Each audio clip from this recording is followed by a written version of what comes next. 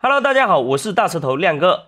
今天给大伙介绍的是由我国选手熊景南对阵巴西选手桑托斯的比赛。熊景南曾获得万女子超量级冠军金腰带等等。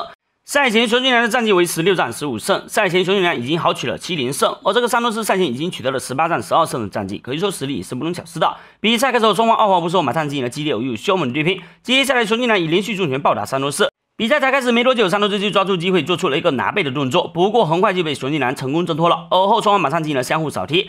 接下来，熊金兰突然开始发力，以连续重拳外加凶猛的顶击将桑托斯击倒。紧接着，熊金兰坐在桑托斯身上，以连续重拳暴打对手。不过，桑托斯也在做着拼命的挣扎，四回合铃声救了桑托斯一次。第二回合开始后，双方再次展开了凶猛的对拼。接下来，在双方对拼过程中，熊金兰不慎被桑托斯直接抱摔倒地。回到站立对决后，双方再次展开了凶猛的对拼。而后，熊金兰不慎被桑托斯再次抱摔倒地。不过，熊金兰很快站了起来。但是，随之在此过程中，桑托斯已经做出了一个断头台的把位，想要 KO 熊金兰。但是，这个断头台把位并不成熟。很快就被熊金南挣脱了。第三回合开始，桑托斯以连续扫地暴踢熊金南，最终熊金南抓住机会一记后手拳，直接 KO 对手，赢下了比赛。裁判马上飞身叫停了比赛，桑托斯也被彻底打惨了。一共五回合的较量，熊金南逆转爆发，仅仅用时不到三个回合的时间就将对手打惨 KO 了。只能说熊金南真的太强了。